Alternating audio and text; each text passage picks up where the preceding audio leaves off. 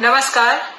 करोनाचा प्रादुर्भाव वाढत असल्याचं पाहून बारा एप्रिलला जी आमची माननीय मुख्यमंत्री मोदयांची बैठक झाली होती. त्या बैठकीमध्ये दहावी आणि बारावीच्या परीक्षा पुढे ढकलण्याचा म्हणजे पोस्टपोन करण्याचा निर्णय झाला होता. आपण सगळेजण जाणता की आम्ही इतरही बोर्डाला या संदर्भामध्ये जे आहे ते सांगितलं होतं आणि रिक्वेस्ट केली होती सूचना केल्या होत्या की आपण सुद्धा आपल्या परीक्षा ज्या आहेत त्या संदर्भामध्ये निर्णय घ्यावा. त्याप्रमाणे राष्ट्रीय आणि आंतरराष्ट्रीय बोर्डाच्या माध्यमातून निर्णय घेण्यात आला की दहावीच्या परीक्षा ज्या आहेत त्या कॅन्सल करण्यात याव्या आणि बारावीच्या परीक्षा नेहमीप्रमाणे घेण्यात येण्या संदर्भामधला आणि पोस्टपोन करण्यासंदर्भामधला निर्णय घेण्यात आला.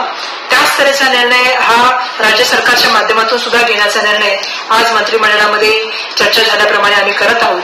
आज शालेय शिक्षण विभागाच्या माध्यमातून आम्ही निर्णय घेत आहोत की दहावीचे जे विद्यार्थी आहेत त्या विद्यार्थ्यांची परीक्षा जी आहे ती रद्द करून त्या विद्यार्थ्यांना जे आहे ते इंटरनल असेसमेंट करून त्यांची जी आहे ते त्या संदर्भामध्ये कशा पुढे गेलं पाहिजे?